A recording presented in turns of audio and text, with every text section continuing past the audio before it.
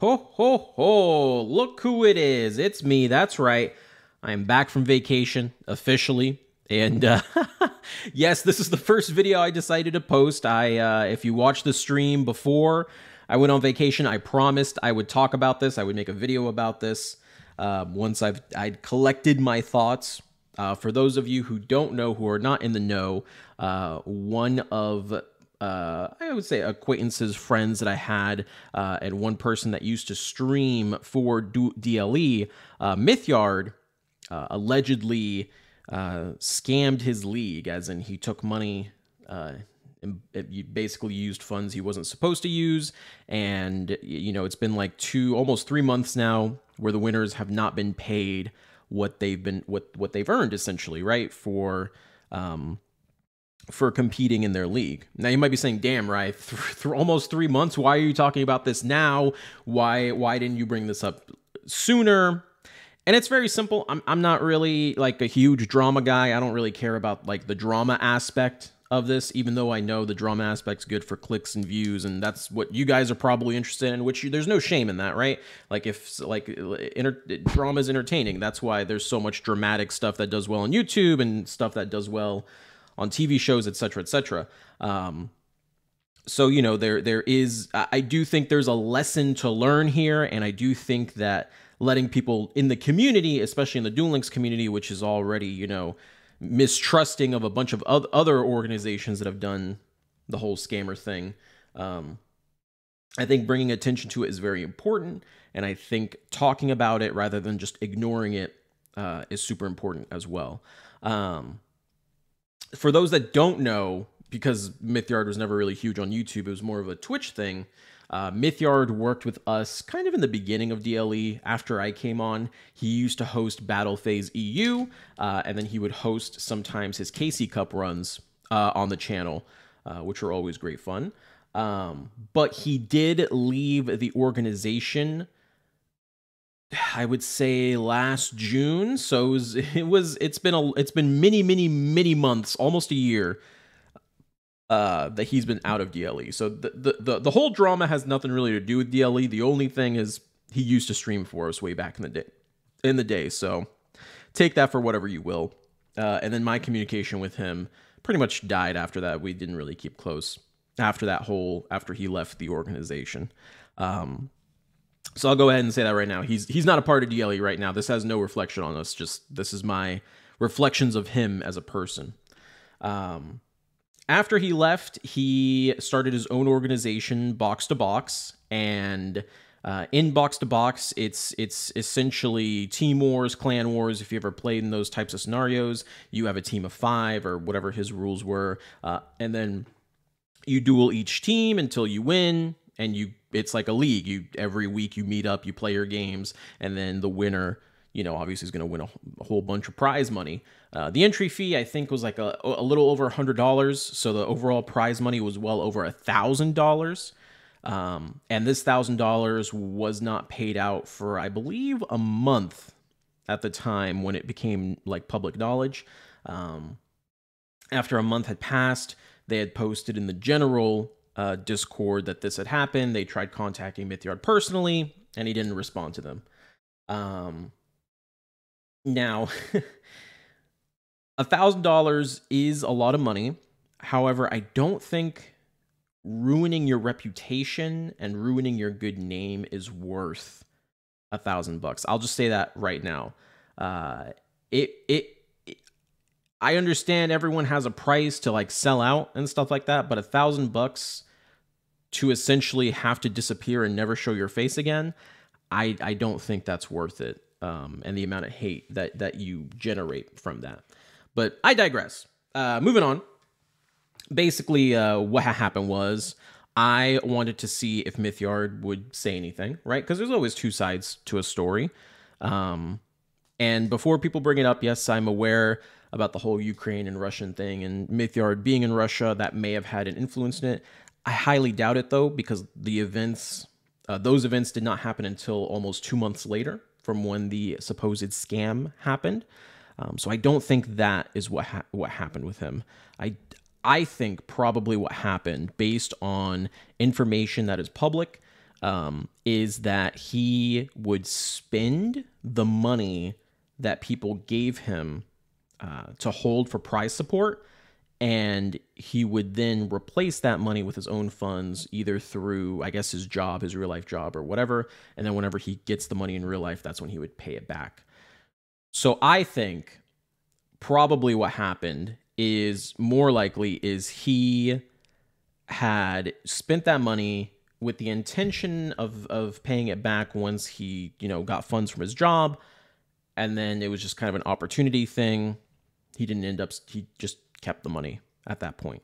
Um, I could be wrong. It could be real life events impacting him, but I think that's more likely what happened, seeing as it all happened well in advance of real life events. Um, now, Mithyard, prior to this, had told me that he was leaving the the Yu Gi Oh scene in general. Uh, that that he I don't that he just wanted to move on. This happened maybe a a month, two months before all these events had gone down. So I thought nothing of it. I just thought he's moving on with his life, as many people do in the scene. Um, and that at that point, I, I really had thought nothing of it. But he did come back a week later asking to join DLE again. At which point I was like, all right, listen, man. You know, like I, I can't have people coming in and out. If you have things to figure out, just figure them out. And then once you figure them out, you know, we can talk about maybe making you a moderator or something. Uh, but you know, I I I I I do think it's probably good for your sanity to move on from Yu-Gi-Oh because it doesn't. It looks like it's having a negative impact on you. So that pretty much was my last communication with Mithyard. Several several months before the events that took place uh, and what he did uh, and essentially just not paying out the team. And it's been two, three months now, almost three months since the team has not been paid out. So I think at this point, there's no real question that he just took the money and ran with it. And I think Mithyard, if you're watching this video, uh, do the right thing, pay out the teams, uh, don't keep the money. I think that's a super shitty thing to do. The number one most important thing for us as community organizers, like uh, across, like not even Twitch and YouTube, just organizing tournaments and stuff. The most important thing is to have the players' trust, right? Especially when we're asking them to to put up the prize support. Communication goes a long way, I think. Uh, if you are having issues with payment, if there's issues with PayPal, if there's issues with whatever, communication is super important. And I think the only time you don't communicate to someone is when you're just trying to steal money from them, right? Uh, no matter what the issue is, saying something to those teams like, hey, I can't pay you until 30 days have passed because I spent the money or something, that's going to hit your credibility, but that's also not going to hit your credibility as much as just straight up being like, oh, hey, you know, I, I just, I just took the money and ran. Again, there's always two sides to a story, but Mithyard has basically refused to give up his side. So, you know, I can only I can only I can only assume what happened based on based on the events that I that that I have seen myself. Um, I'm hopeful that um, you know there's there's more to the story. There's a reason that he didn't pay, and it's you know I, I don't want I don't want him like any harm to come to the guy, but if he was like in jail, for example, and he literally comes out tomorrow and pays all of, of, of the fines or whatever, then it's more understandable, right? But as it stands right now, he just hasn't said anything, and it looks like it looks like it's just a straight up scam, and it's very disappointing. Uh, I think the lesson to learn here is don't just trust anybody. Um, you know, like DLE has always made good on all its money promises. We've given out prize support from all the way to $10 to $2,000 to events, and we have not ever failed to give out the prize support, right? Uh, there are other communities like that out there as well. Team Wars is a fantastic league that's been run. Uh, never, uh, as far as I know, never been any issues. All DLM events, never any issues when it comes to monetary prizes and many, many, many, many, many others. So just uh, be aware.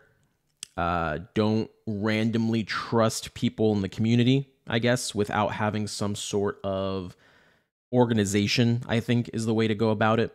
Um, or you know like actual pillars of the community you know if if if someone has like their twitch and their youtube and everything on the line and they host a tournament it's a little different from just oh this guy just wins a bunch of tournaments and he's hosting a tournament just be careful is basically what i'm trying to get at i don't think anyone could have foreseen mithyard doing something like this and i am very sorry to the teams that he scammed i hope you guys um I, I listen. You guys need to talk to PayPal. Do do a chargeback or something.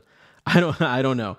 I don't know. There's there's there's a bunch of other stuff coming about the guy that the, uh, there's like a huge dog pile of him and how he plays and if is his wins legitimate. All that stuff. All that stuff I don't really care about. What I care about is the money gets to the teams, right? Um, and I and I hope that he, at the very least, does the right thing and pays out the money. That's pretty much all I have. Uh, thank you for listening to my story. I hope you guys uh, are now more aware, learned a lesson. Um, like I said, I don't I don't do this to be a drama queen. That's why I waited so long to make a video about it because I wanted the dust to settle, and I wanted to give Mithyard essentially a chance to do the right thing on his own. Uh, but he's it looks like he's decided not to. So here's the community pressure. Hopefully he does the right thing. Um, don't give Duel Links players a bad name. That's they don't deserve that. That's gonna be it from me, boys. Take it easy. Stay safe. Happy videos coming soon. I promise. Until next time.